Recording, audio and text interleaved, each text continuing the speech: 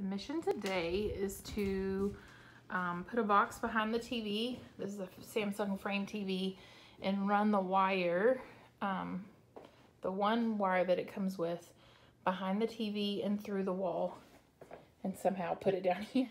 And we have a steel fish tape, which is like a metal, um, I don't know, cord kind of thing that will help us string it through here to up there, I hope.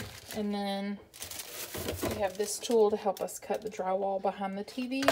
This is called a cable access wall plate. We're gonna put this behind the TV and that's what the cord is gonna go through. Change of plans. We're going to actually try to put a, like a box on this side.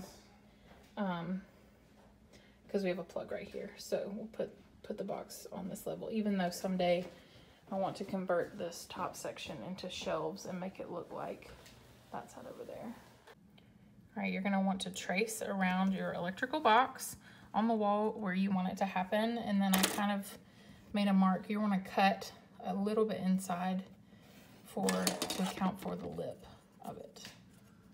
And then using a wallboard saw, you're gonna cut around the interior um, of your line. Make so avoid hitting any studs. So I use my stud finder to make sure that we weren't gonna hit any studs. You tighten it onto the wall once you have your hole done. All right, we're making progress.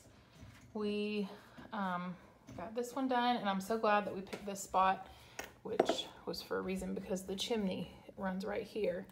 Um, and you can actually thankfully see, you can't see through there, but you kind of can. Um, you can see through to this wall where he had to drill through the side of the bookcase with this hole saw. Um, if you have drywall, obviously you don't need this, but we're drilling through like several inches, several inches of wood. All right, so we got both holes made, both electrical boxes in place, and then very easily we were able to run this steel fish wire thing um, through here and then he was able to see it and pull it through here. So now we attach the wire to this and then we'll drag it back through and then put the um, brush covers on and we'll be able to connect it and call it a day.